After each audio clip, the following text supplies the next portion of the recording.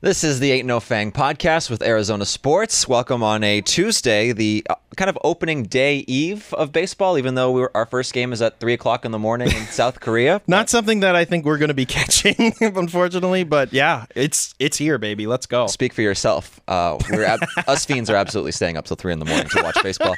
Alex Weiner, Mitch Vareldzis is in studio today as we are going to break down the National League West, the division that keeps on giving us off-season content, thankfully, compared to everybody else in this dog. division. Yeah. And uh, even with opening day for everybody else, less than 10 days away, uh, giant big ticket free agents are still coming to the National League West, as in the words of Torey Lovullo, or I guess I'm paraphrasing here. Why do is every big free agent coming to the NL Do West? they know that other divisions exist? I think is the response of many after last night. So we are going to break down the five teams, um, sort of players to watch, what to go over.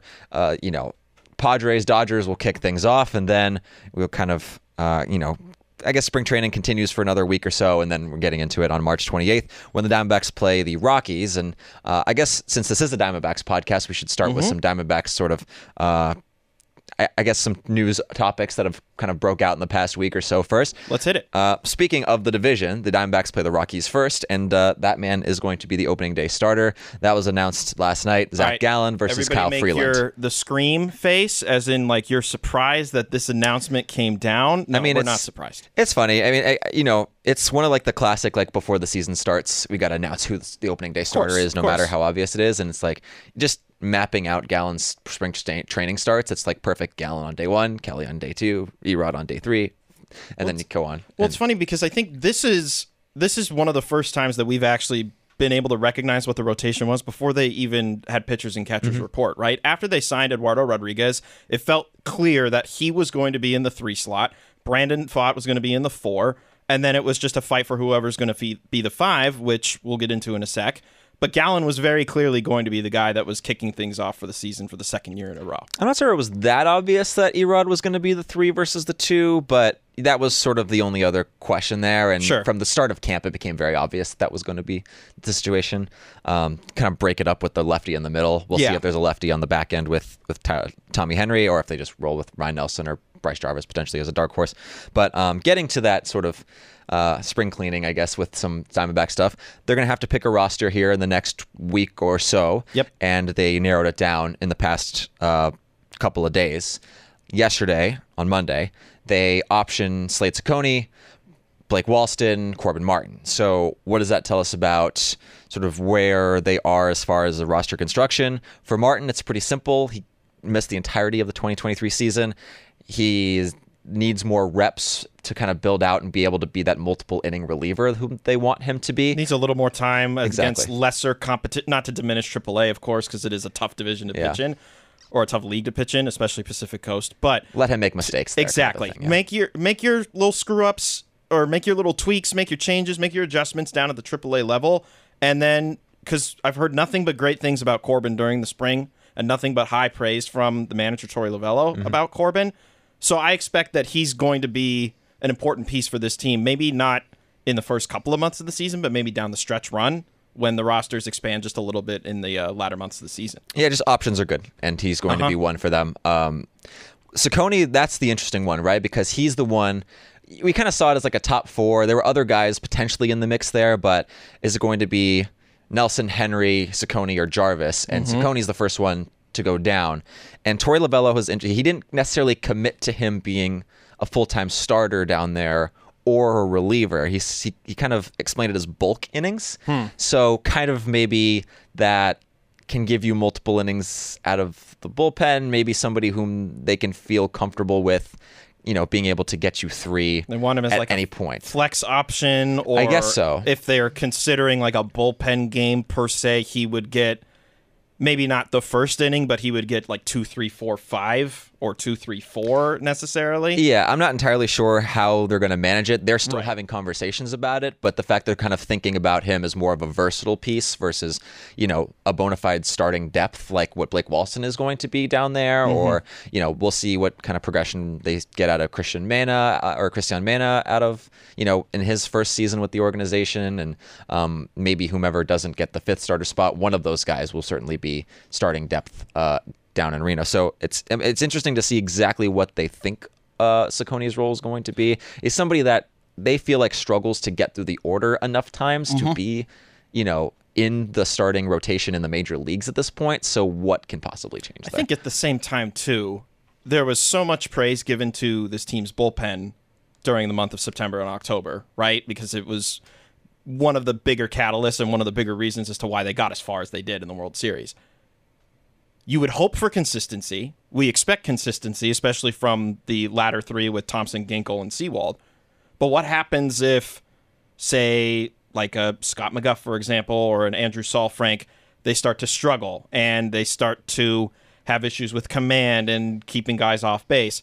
Well, then maybe you can turn to a Slade Cecconi who's had some experience at the lower levels working out of relief, working in bulk, and it just gives you another option out of the pen because we know they're not going to have Dre mm-hmm. Jameson for this year. Mm-hmm.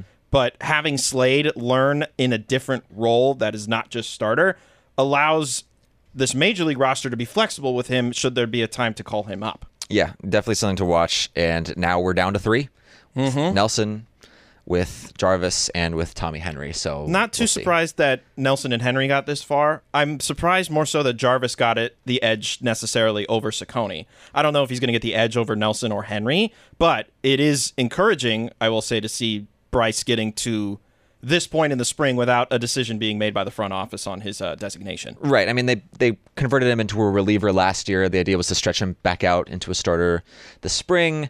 You know, maybe you know he's also competing for the fifth spot in the spot in the rotation, but maybe he's also competing for a long relief role in the Right. bullpen, which is something that they might need early on, especially as guys continue to get their pitch counts up. Kind of what they did with Ryan and Dre last year, where they kept both, but they ended up with Dre was in the bullpen and Ryan got the fifth spot, maybe something like that. Yeah, but I wouldn't anticipate it would be exactly how they used Dre, just because and, and Torey Lovullo's been open about the use how they used Dre. They thought they thought may have contributed to him getting injured by Fair. having him stretch back out during the season. That's not something they necessarily not want to it's do. not healthy. It's too much on the elbow Yeah. and the shoulder as far as changing how much you throw in a given time period. Yeah, I mean, yeah. So. And then the Blake Walston of it all, he's just he's there for depth. He was there last year. Um, still, Mm-hmm. Still one of their stuff to top prospects, you know, like give mean- him the time to develop, I would say. Yeah, I mean, last year was kind of interesting year because he kept the runs down Mm-hmm. in Reno, which is good, but the strikeouts and walks were like pretty much neck and neck, which is not good. Yeah. So uh, he's only 22 still. We'll we'll see what another year there potentially can bring out of that. Um, as I mentioned, Gallen versus Freeland. This will be Zach Gallen's first time starting on opening day at Chase Field. Um, last year he was the opening day starter, but it was at Dodger Stadium, and before him, Madison Bumgarner was sort of the designated opening day starter for a few years. So uh, that'll be kind of a, a neat thing that he hasn't been able to do. He pitched in their last game at Chase Field, and now he's going to pitch in their first game at Chase Field. And of course, we expect a win because they're playing the Rockies. Well, right? Yeah, we'll see. They, they get they get Kyle Freeland, who they have plenty of experience. Yes, with. yes. Um, so yeah, that's that's sort of the latest in Diamondbacks camp. It's it's a lot of we, we still have some races for backup catcher and backup shortstop. I mean, it's sort of the point of it's so nice to, or it's very like a fortunate position to be in where they have a lot of tough decisions, but they're all kind of more along the margins than like who the heck is going to be our everyday shortstop kind of a thing. the luxury of depth, I think, is a lot more evident with this year's team than it was in some of the teams of years past. Like I was thinking about it today. When was the last time I felt very confident about a roster, at least on paper, heading into a season? Funny enough, it was 2020 when they went hmm. out and they got Starling Marte to fill in center. They got Cole Calhoun to fit in right.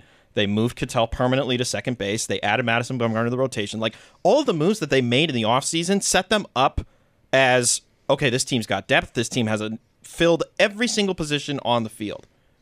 And then, of course, the product that resulted on the field that didn't turn out so well. This is the best I felt about a Diamondbacks roster on paper since that point. Yeah, and uh, you know, you, you talk about depth. I'm going to try to like do a little. I was going to use that to kind of transition into going into the NL West, but then you brought up Cole Calhoun. I was like, oh my gosh, that's another point. He Cole retired. Calhoun announced his retirement this this week. Former or- or Sun Devil and weekend. former D back. Yeah, Works up. Very good career. Yes. Excellent career with the with the Angels for a long time. Gold Glover out there, quality at bat. I mean, he's very good career, and so um, definitely not somebody to forget. But let's get into the National League West because. Uh, glad we're doing this today and not yesterday, or else we wouldn't have a Blake Snell sized hole to get to. Um, just in the past week, Blake Snell and Dylan Cease have joined this division. And it's a division that, when you look at the top four teams in it, I mean, there's very good arguments for four playoff teams potentially. 100%. Um, and just kind of going over who was added to this division. Let's kind of like list it off quickly. The Dodgers add Shohei Ohtani. They add Yoshinobu Yamamoto. They add Tyler Glasnow, James Paxton. They bring back Clayton Kershaw, who will not be ready in the first half of the season. Um, they bring in Teoscar Hernandez. They bring back Jason Heyward and Kike Hernandez. Walker Buehler will be back uh, after missing last season to Tommy John. Uh, Gavin Lux is back after he missed all of last season. Then you go to the Diamondbacks, who we've talked about. Eduardo Rodriguez, Eugenio Suarez, Joc Pederson. They bring back Lourdes Gurriel Jr. Randall Grichuk is there now. Uh, the Giants, they just signed Blake Snell. Um, so that's, I mean, that's a top two rotation that we're, we'll get into. But man, that is Logan Webb, Blake Snell is insane as your top two. It is nuts for them to be able to start the year with that duo, especially both of them coming off of Cy Young campaigns this past season. Not only that, the number one and the number two in Literally. vote get in the vote getters in the Cy Young. but then they also add Matt Chapman, Jorge Soler, Jung Hoo Lee, um, Jordan Hicks, Robbie Ray, Tom Murphy, and uh, old friend Nick Ahmed. And they hired Bob Melvin as their new manager. hired too, Bob Melvin as after the new firing manager. Gab Ca- Gabe Kapler, excuse me. And that I think is another factor that's going to play into how different this division could play out. Absolutely. And speaking of new managers, he Mm-hmm. goes from the Padres to the Giants. The Padres bring in Mike Shildt, for, who used to be the manager of the Cardinals. Uh, Padres, a lot, you know, a lot of names leaving the organization, like Juan Soto and Yeah. uh, Blake Snell, obviously, Trent Michael Grisham Waka. out of the outfield as well. Yeah, and uh, Josh Hader. They basically lose their best hitter, pitcher, and relief pitcher, uh, but they still have a ton of talent. They still bring in Dylan Cease. Michael King comes over after a really good second half of the season last year. They add some bullpen guys like Yuki Matsui and Woo Suk Go, and um, some guys who hadn't pitched in the major leagues yet, but who have some decent upside. So Yes. that's just kind of a, a running list of who's in this division. What did the Rockies do, Alex? I'm uh, just kidding. You They added, they added, they added Cal Quantrill, who I think is a good buy low candidate, and they added Dakota Hudson, kind of similarly. Uh, they didn't really spend any money in, in free No. agency, but that's kind of how they've done their business the last few years. They've operated that way for quite a while. Exactly, and and now as soon as we finish this, like JD Martinez will be on the on the Padres or something like that. Maybe Jordan Montgomery will will slide into somewhere. Uh. Who knows? Maybe the Diamondbacks like, ugh, everybody's getting pitchers. Maybe Michael Lorenzen's like, that's just speculation. But Yeah, of course. Yeah, yeah, that's it's just anybody can be in the National League West apparently. So I figure let's go team by team a little bit and kind of break down what is the biggest question you have about them going into the season. Sure. One player to look for, one pitcher to look for, move on to the next team. So Absolutely. for the Dodgers, it's sort of interesting for them because really the only question it doesn't matter what the regular season does for them. as It's we've seen the last three years, apparently. yeah. My question is, what does the rotation look like in October?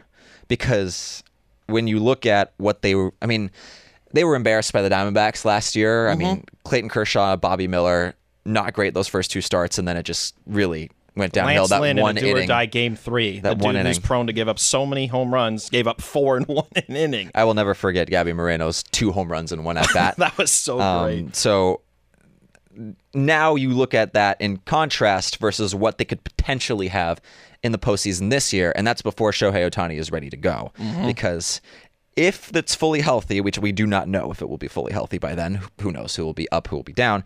It could be like if it's a three game series, it could be Glasnow, Yamamoto, and Buehler with Kershaw as a fourth option potentially, but you could also have Gavin Stone is a fourth option, James Paxton, if Dustin May is healthy. Like they have a lot of guys who could potentially be there.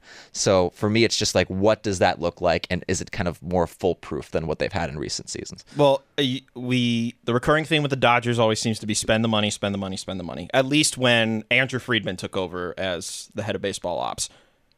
This team, though, has only seen the success of spending that money the one time, and it was the shortest season of them all in the last or in this part of the uh, 2020s. Can they spend all of this money and to your point, it actually become fruitful in the games that matter, right? Can we? Can Yeah, but we this pen- is extreme. Like this is more than they've had. This is a Sure. billion dollars. Sure. This is I kind of see this as the this is Dave Roberts' last chance to actually get this team at least into the World Series, back to the World Series, and then winning it all. And if they do anything less than that, my bold prediction is that Dave Roberts is gone. Like I don't think that this organization is going to be comfortable with the idea of spending as much money as they are, or and then will be long after Shohei Ohtani is done playing, and it just to result in a first round exit again. I don't think that they're going to be happy with 100 wins and a first round exit. So have they built a foolproof team? I'm curious about their defense and their lineup on a day to day basis because you and I can agree that their top four is probably the one of the nastiest in baseball. Mm-hmm. Mookie Betts, Shohei Ohtani, Freddie Freeman, Will Smith. That's a pretty damn good top four. What's after it though is Max Muncy, who had one of his worst batting average seasons last year. Jason Heyward, who's an aging veteran and still has upside defense, but the offense has uh, been on the downturn. Teoscar Hernandez, who I like as a nice little piece to add in. He's got some speed, he's got some pop. As you noted, he's close to 100 home runs in his last three seasons. Gavin Lux, though, has been a very interesting storyline to watch in spring because he was set to be their opening day shortstop with Mookie at second base, and then they swapped the two for defensive reasons, and now Gavin looks like he's got the yips even from second base, just from highlights that I've been watching. I'm very curious to see how the lineup after one, two, three, four mm-hmm. pans out for them, and then doubly so their defense. Like, I'm not worried about Mookie at short. I know many people could be or should be. I'm worried more about Gavin Lux, Jason Heyward, James Outman, and Teoscar Hernandez in that outfield.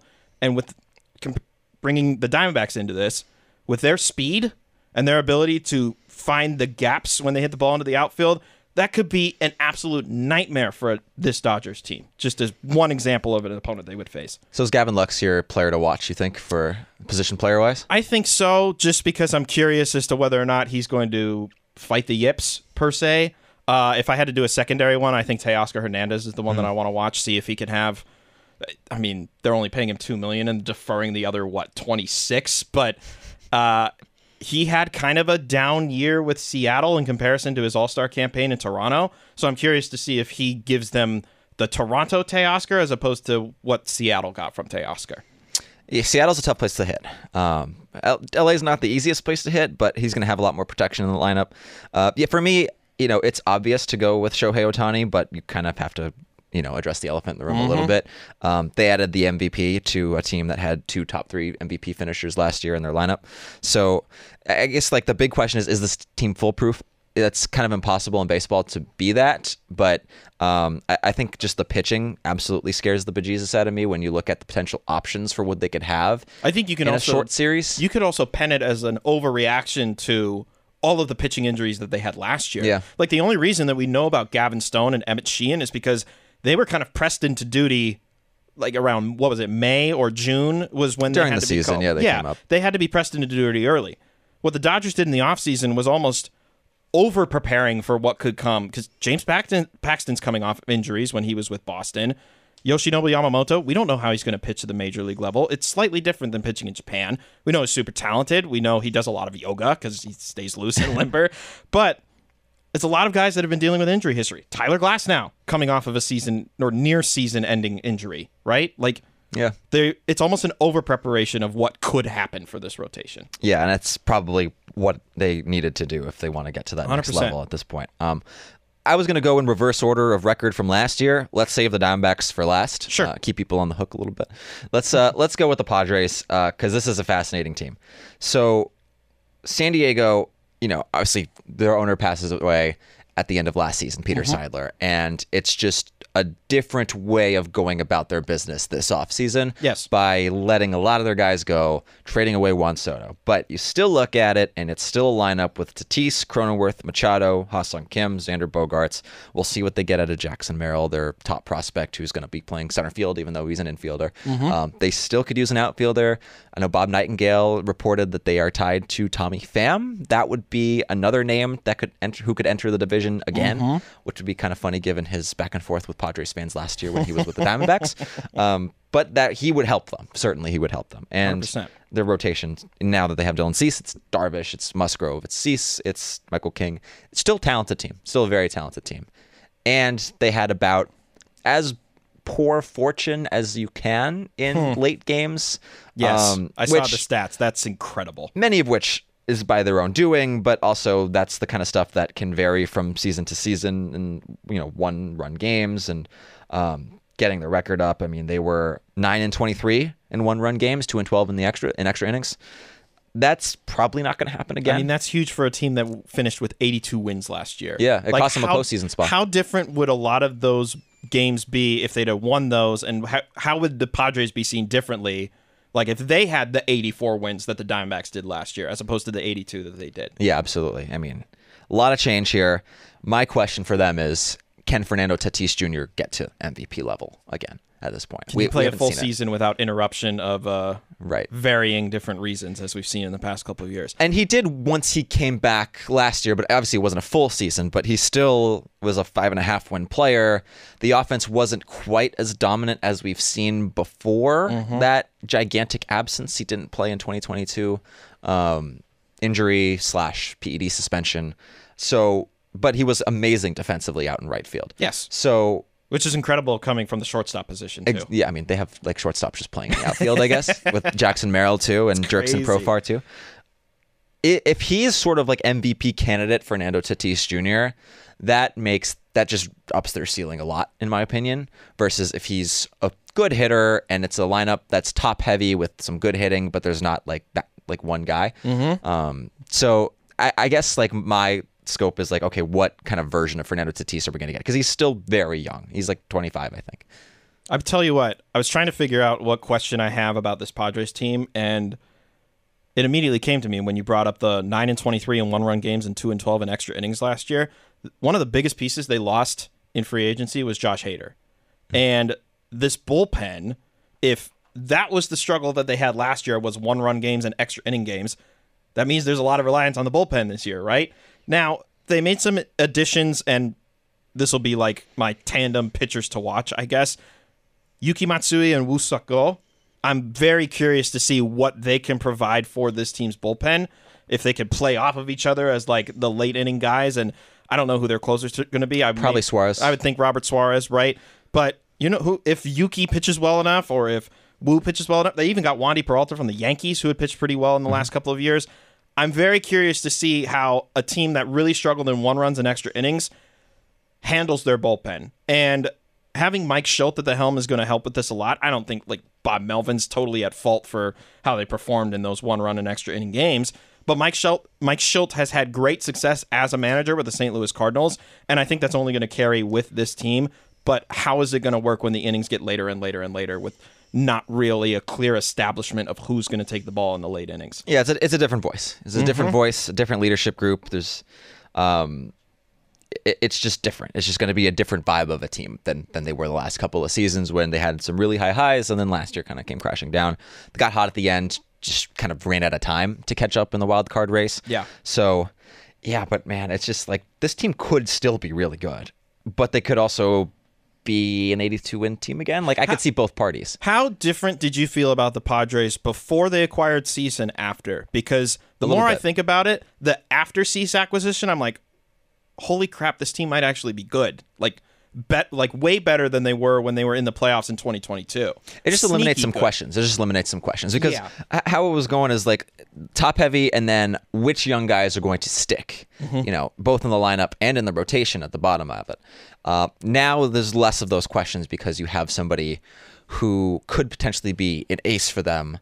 Last year wasn't great for Cease, but and he's again it's kind of like the snell thing where getting deep into games walking guys like that's going to be kind of a similar experience. Yeah. But now he gets to pitch in san diego instead of in chicago. Huge it's, park differential. you know bigger games that are going to mean more. It's mm-hmm. it's going to be a little bit of a different environment he's also him. got an offense behind him that can actually produce a good amount of runs on yeah. a daily basis so uh, he he's my he's my pitcher to watch so that's for pretty obvious reasons um, let's keep it rolling okay Let's go to the Giants, team near and dear to your heart. What did they do yesterday, Alex? They signed Blake Snell Oof, man. to a two-year contract, but although he could get an out after the first season. Huge um, average annual value, of course. That that seems to be a recurring trend when free agents of this caliber are signed this late in the offseason. He's getting like 62 over two, but as you mentioned, the opt out. Uh, and I think they've actually, I read somewhere they pushed the signing bonus mm-hmm. into 2026 so he's only going to make 17 or 15 million dollars this year. It's been a big offseason for money managers. Yeah, seriously. I feel bad for all of the uh, financial advisors out there in the uh, California area because they've had they've been busy this offseason. Yeah. To your point, the Giants should be much more dangerous than last year. They won 79 games last year to finish in fourth place in this division, and a big reason why is just a lack of punch.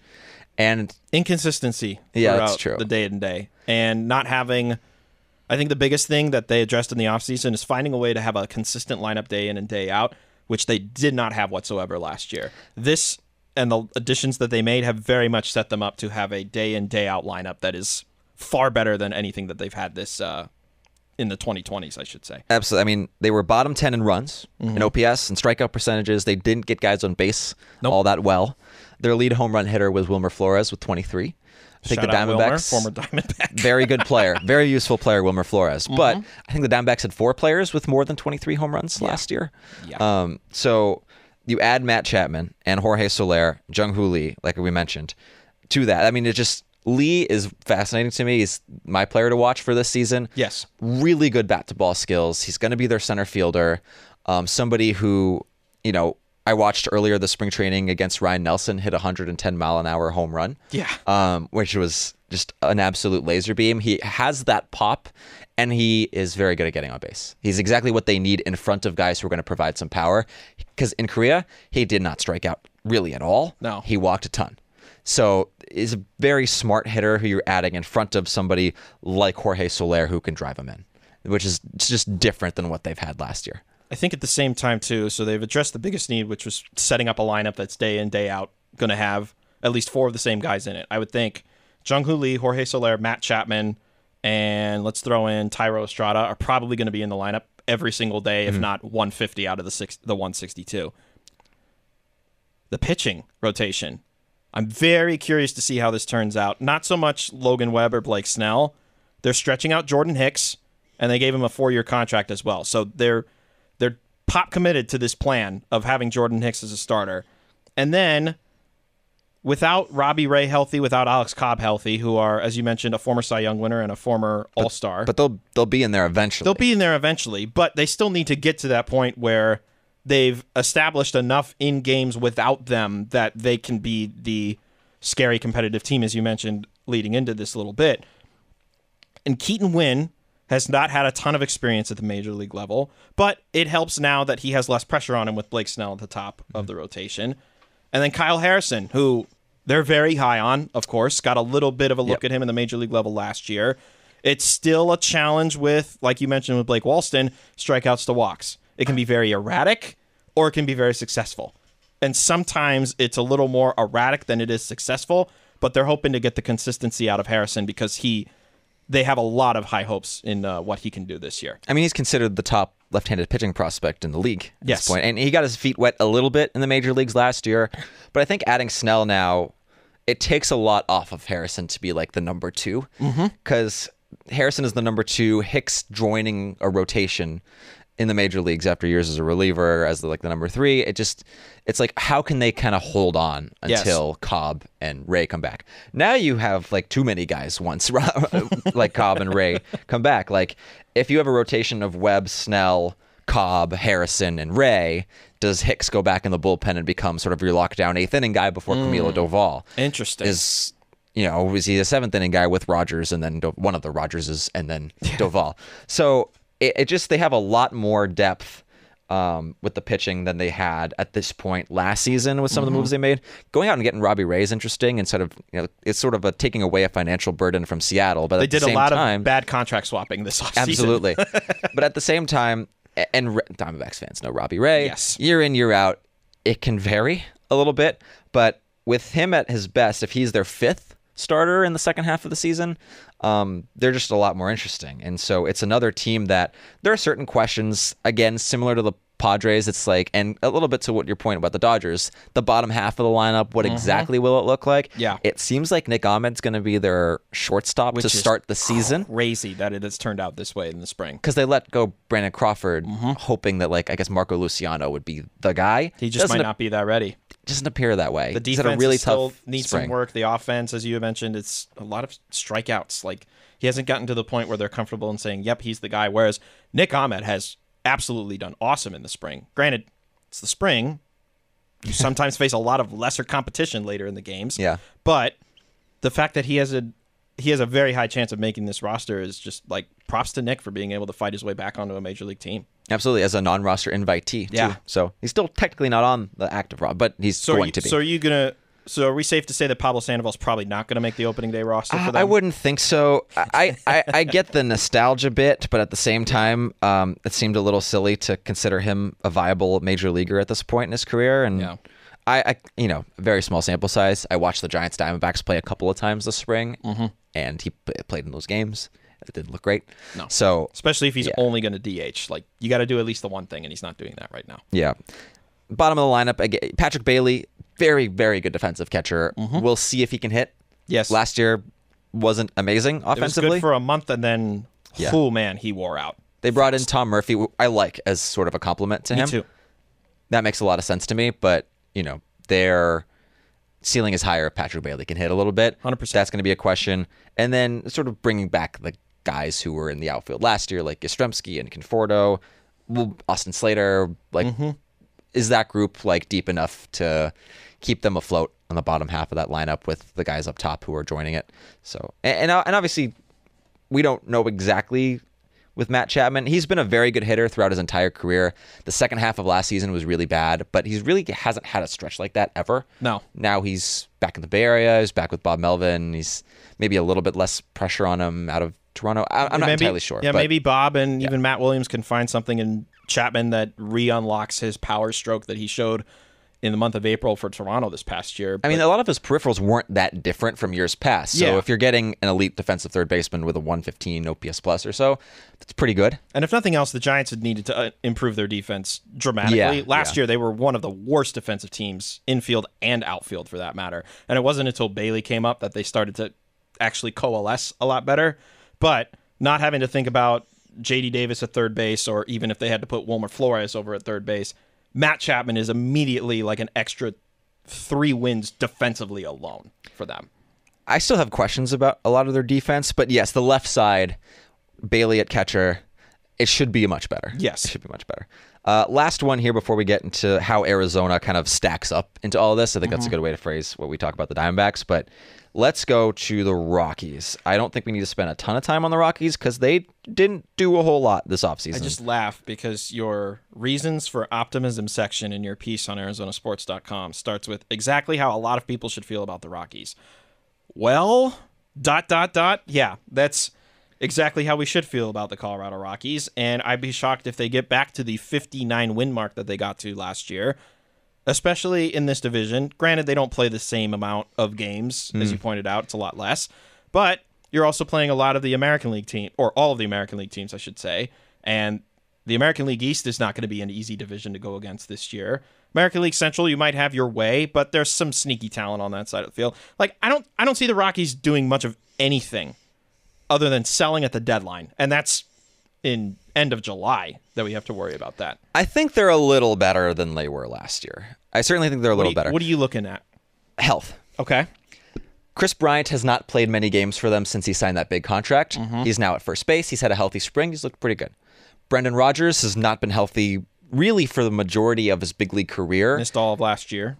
I, I you know, looking up his numbers, this is going to be the sixth season in which he plays major league games. He, Oh, he played sparingly his first couple seasons, just as like cups of coffee. Mm-hmm. Yeah. But this will be the sixth season in which he will get major league reps, which is wild to me because I still think of him as being in like his second year. Right. But it's because injuries. He's, he was held to 46 games last year.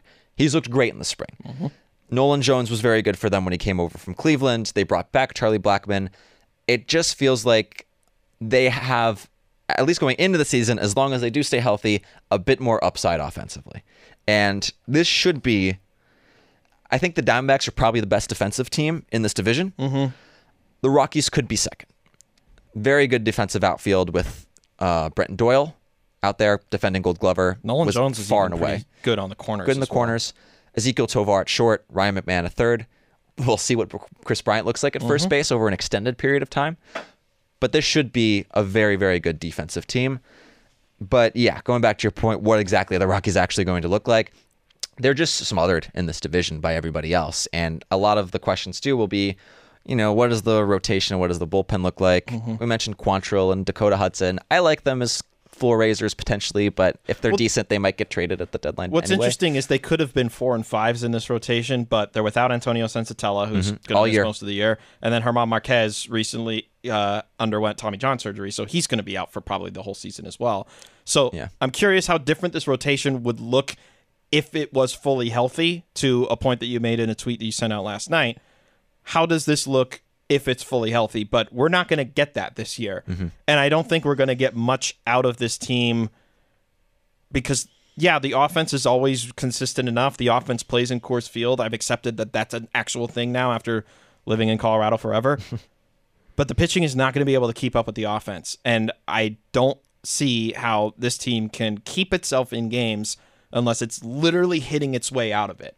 And they, to your point, have to be fully healthy because two of the guys in the middle of that order, Kris Bryant and Brendan Rodgers, have not been healthy for this team. And the bottom of the order still leaves up a whole lot to be desired. Are they going to get All Star Elias Diaz too? Like he had flashes of power last year, but now he's probably going to be splitting a lot of time with Jacob Stallings because Diaz is minus defensively, whereas Stallings is a bit more of a plus.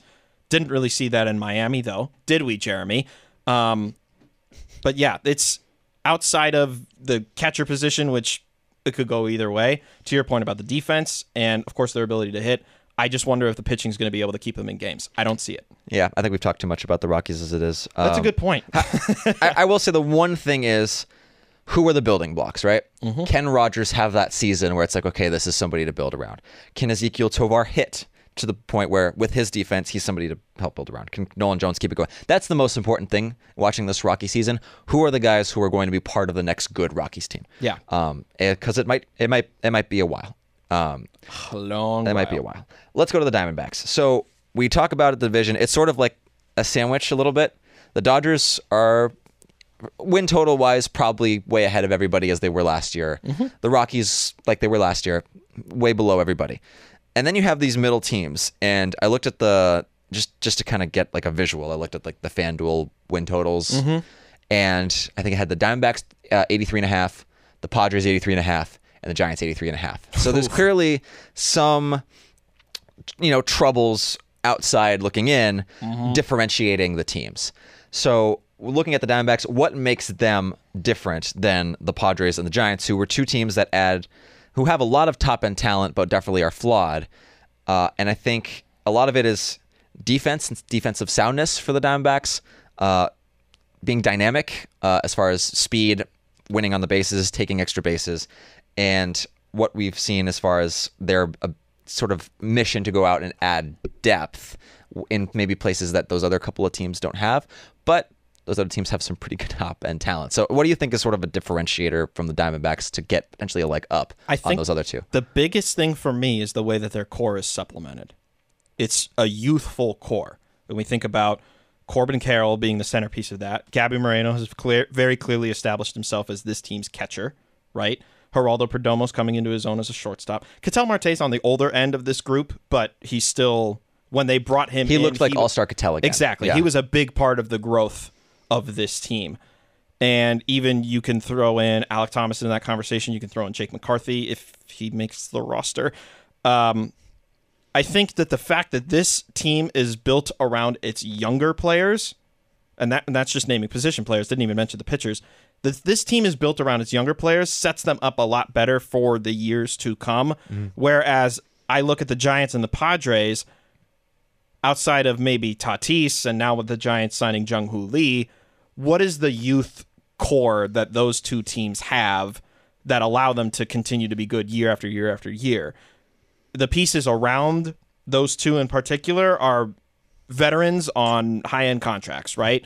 Whereas the Diamondbacks, Corbin Carroll got his big contract, but he's still going to be with this team for a long while and is a big part of how this team is going to grow for the rest of this decade. Absolutely, it's a great point. It's a great point because you we kind of look at this in windows, right? Like, what is the window here? Right. And for the Diamondbacks, that's sort of a loaded question a little bit, just because you know Walker's in the last year of his contract. Zach Gallen and Merrill Kelly are only under team control for the next couple of years. Mm-hmm. What does that look like going forward? So yeah, there's still sort of that level of urgency that they've built around. But you're right, it's a little bit different than some of the other teams in the division that we know these younger guys are going to be you know, potentially really good Arizona Diamondbacks for a really long time, and they can continue to work around it. Um, yeah, the the Giants. Well, again, we'll see. We we mentioned Luciano, but we don't know. Um, Kyle Harrison maybe could be their ace of the future. I mean, they're we'll trying to bring up their young core. We saw a lot of the youthful guys come up last year, like Casey Schmitt and David Villar. They gave them opportunities last year as Mm-hmm. well, but it's the inconsistency. Whereas at least with this young core, you've gotten the consistency out of Moreno, you've gotten it out of Carroll. It is very much starting to come around for Brandon Pfaadt. And Zach Gallen is looking like a regular ace, and he hasn't even hit age 30 yet. Yeah. Like this team is set for the rest of the decade, whereas the other two the other two teams are kind of their pay each year by year. Like th- think about it for next year. The Giants, who are they going to bring back? Are they going to have back Chapman? We don't know. Are they going to have back Snell? We don't know. They're guaranteed to have back Soler and Lee, but Soler is going to be middle 30s by the time next year rolls around. Like the Diamondbacks are good for the rest of the decade with the team that they have. Potentially. That's that's the goal. that's the goal. The idea this offseason after they won they win 84 games, they get in the wild card, they go on this amazing run to the World Series. Mm-hmm. Now it's like can they build a perennial postseason contender? Did they do enough to build a team that you are confident, okay, in late September, they're going to be playing meaningful games to get into the postseason. Maybe they'll already be in the postseason mm-hmm. and then go back into October. That's the goal here. And as far as sort of roughing out the edges, they have done a nice job of uplifting the floor of this team with Suarez at third base versus the platoon that they had last year with Rodriguez in the rotation and not Zach Davies or a group of youngsters. They've even got designated designated hitters. It's not just uh, it's going to be you today or it's going to be you today. No, it's going to be Joc Pederson against the right-handers and Randal Grichuk when he's ready to go against Yeah. the left-handers. Like they've addressed literally every position around the diamond and improved on each one. Absolutely. And there's still the questions. They were very healthy last year. We'll Mm-hmm. see how they can handle that if something happens. But uh, yeah, it does feel like when you look at the three teams, those are some of the differentiators for Arizona. It just it's it's a dynamic team, it's a young team. We'll see like now that they have sort of the expectations. This was kind of more of a theme early in camp when it's like the first time you see them. It's like, okay, what is it going to look like now that you were no longer necessarily the underdog that nobody saw coming because you've already done the darn thing once. So can you do it again? How does how do they handle that? How do they handle lulls? Will be similar to last year when you know they sunk pretty low for a while and then climbed back out of it. Um, will this bullpen that they're basically bringing back piece by piece from last year hold up the same? So there's certainly tons of like questions, but yeah, when you're looking at like those three teams, it should be a bloodbath for for those potential wild card spots. Assuming the Dodgers win 100 games, which is kind of what they do every single year. It's not just because they made all these moves. in, They've but- been doing this, but um, yeah, we'll see. And, and who knows? Maybe we get an unexpected run at the division at the Dodgers that we didn't see coming. That would be fabulous. But just for a comp- competition standpoint. So, but there's so much talent in this division. There's so many good teams. It's probably the most balanced division in baseball at this point, with just how many good teams there are. So, um, it's going to be fascinating to see. I think too, um, considering the offseason that the big four teams in this division have had, could you make an argument that everybody's chasing the Diamondbacks, or is everybody trying to chase the Dodgers and go for the division? I argue that it should be looked at as everybody's chasing the Diamondbacks because they were in the World Series last year, obviously, right? The Dodgers, in response to being beat in three games in the NLDS, went out and spent the most money that any MLB team has ever spent in a single offseason. The Diamondbacks took a group that got to the World Series and made it better with offseason additions. The Padres seemingly looked like they were folding the folding their hand and pushing the chips in and folding their pushing their cards in, excuse me. They don't want to push the chips in if they're folding. Um, and then turn it around and now they've actually redesigned a team that could very much compete and get surpassed that 82 win total they got to last year. And then of course the Giants who had just fired their manager after a disappointing season. I'm sure the front office is feeling the heat a little bit of not replicating the success of 2021 and they got aggressive. And I wonder if teams are chasing the Diamondbacks because they see all we have to do is get to the postseason. Then it's anybody's game. And if we have the best team come postseason time, no matter what seed we're in, we could run the table. We could run the whole thing. We could do exactly what the Diamondbacks did. So I wonder how, like, when we're talking about the Padres, Giants, and Diamondbacks in that sandwich of the division, I don't think it is they're kind trying to compete and chase the Dodgers for the division.